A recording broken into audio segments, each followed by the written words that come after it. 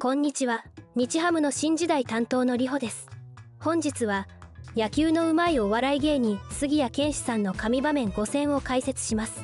杉谷拳士選手は北海道日本ハムファイターズに所属しプロ野球選手として活躍しました。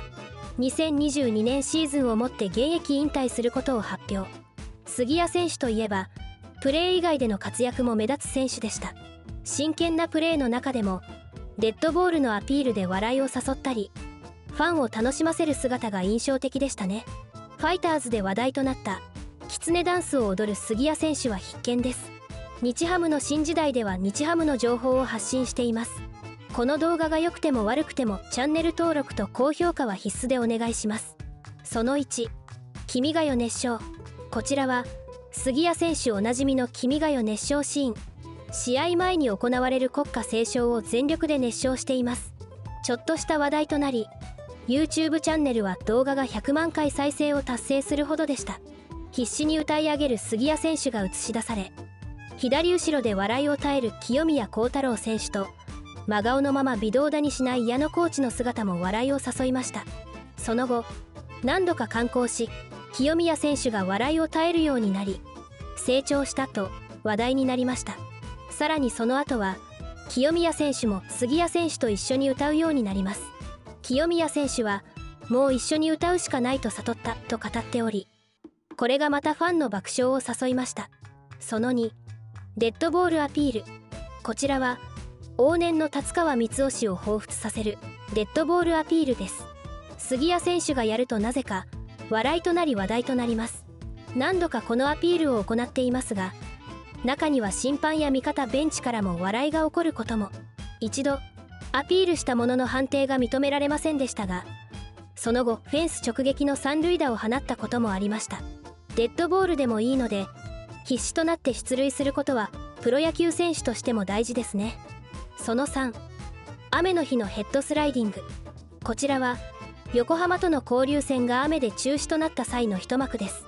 プロ野球で雨天中止の恒例となっているヘッドスライディングパフォーマンス。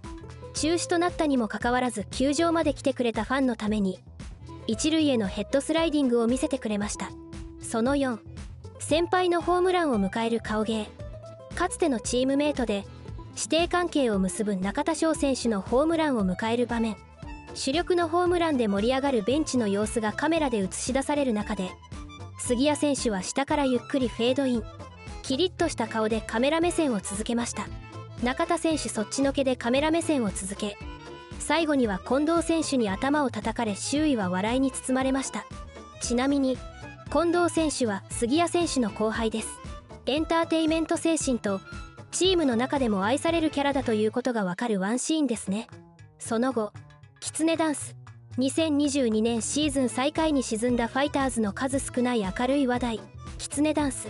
じわじわと人気を集めいつの間にか全国で有名となりました。球団公式 YouTube では選手が踊る動画がいくつか公開されていますが杉谷選手のソロダンスは圧巻でした。いかがでしたか？ここでは紹介しきれなかった面白いシーンが数々あり記録よりも記憶に残る選手として語り継がれることでしょう。引退会見では引退ではなく前進だと語っていました。